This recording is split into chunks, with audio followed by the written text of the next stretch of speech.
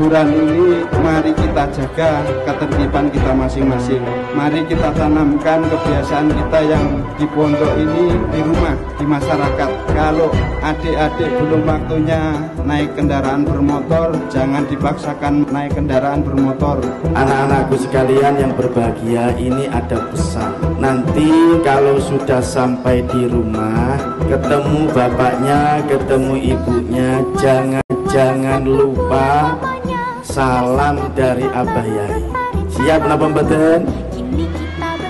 Mari kita doa bersama-sama. Mudah-mudahan kamu semua anak-anakku dapat ilmu yang barokah dan manfaat.